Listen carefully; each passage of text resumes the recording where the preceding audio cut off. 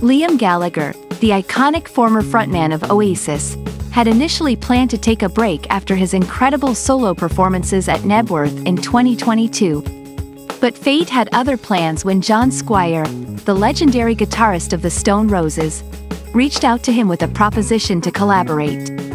And just like that, Gallagher's musical fire was reignited.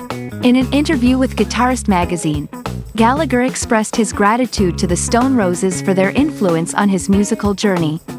He also couldn't help but acknowledge Squire's immense talent as a guitarist. The admiration was mutual, and it set the stage for an exciting partnership. Despite his initial intentions to take it easy, Gallagher eagerly embraced the opportunity to work with Squire. His enthusiasm for the project was fueled by his deep respect for Squire's musical prowess.